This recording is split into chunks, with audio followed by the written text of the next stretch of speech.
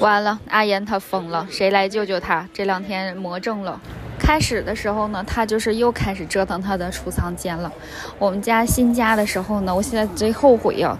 开始的时候就说装修的时候想省一点钱，就说储藏间没有必要打一排柜儿，那么多定制柜儿做下来，结果放在储藏间里没有人看，有点浪费钱。这样我们可以能省个两三万块钱。然后呢，阿岩一听这样确实是挺合适的，然后他就买了很多的架子，他就准准备自己呢搭一点东西，反正在储藏间里平时是关门的，就是我们自己拿东西用，呃，所以呢就自己整一个架子，然后呢，呃，来放东西就可以。可以了啊，这样还很省钱，他觉得很高兴，我也觉得挺好的。然后他还能呃自己创一下，自己设计一下他的东西。没想到，就这一个储藏间，也不知道他是没有什么设计天分呢，还是他这个人就是比较容易善变呀，还是怎么样？他还有他数学那个逻辑什么的太差了。就是阿岩，他前前后后。一共设计了五六次呀，这个储藏间左改右改，右改左改，每一次设计都在房间里面一个密密透风的一个房间里面待上一个月左右，至少也要两个星期，然后来改装拆装，然后呢就平时什么都不干，就关在一个小黑屋里，特别的闷，还不透气，还有一点点味儿。那时候新家刚装修好嘛，所以他就在这整，前前后后这是又开始了第六次改造储藏间。用我妈的话说，因为他每次来整理的时候都是我妈在的时候，他比较有空，有有人带孩子，所以我妈每次都看得见。他觉得他一，我妈觉得他一来，阿岩就在整理储藏间，他觉得这个人是不是有什么心魔，有什么病，就堵堵在这个里边，他就出不来了呢。回国从印度回来之后呢，这就阿岩就开始了第六次的改造。他说他这次要整的利索一点，原来都不太利索，他要整利索一点，看看他这一次最后整成什么样。我给他期限了，我说这次你不能再整一个星期、两个星期那么长时间了，我说你必须得快速解决问题。两天以后呢，他终于大功告成了，这就是他所谓的比较利索的样子。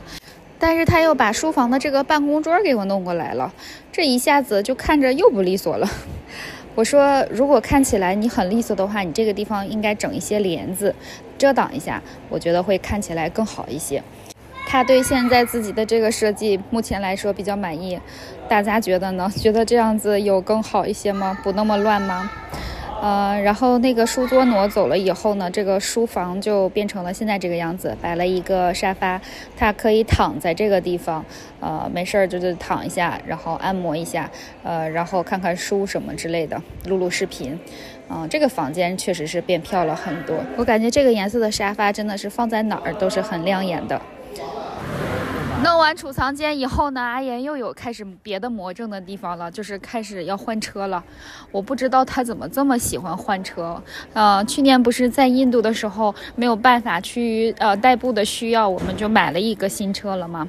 呃，然后。他这个，呃，还好走的时候顺利的就给他卖给了朋友，相当于我们没有损失很多钱，呃，花了两万块钱人民币吧，相当于在印度租了一年的车，其实还好，呃，然后呢，现在回来中国以后又看见现在的车不顺眼，又要换车。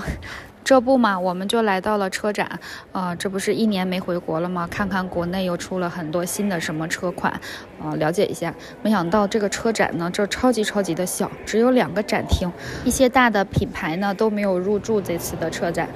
但是呢，就是他开了很多那个国产的电动的车，就发现哦，新这一年电动的车真的是进步很大，出了很多新的牌子、新的款式，更新迭代特别快。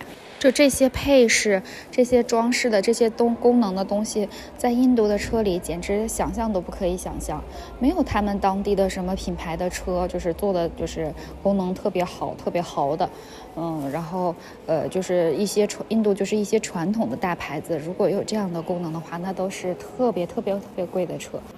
所以我家这位印度先生呢，他又看着之后又心动了，觉得他应该换车了。我们家的车的功能现在太少了。